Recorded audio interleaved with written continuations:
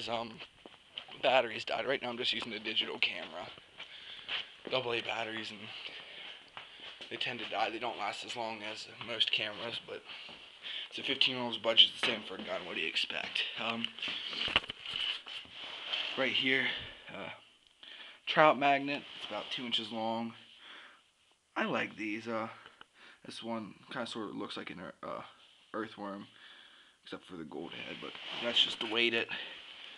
Um,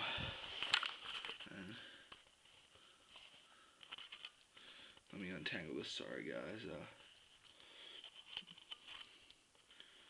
all right, right here it's a uh, Rap, uh, Rapala Rapala.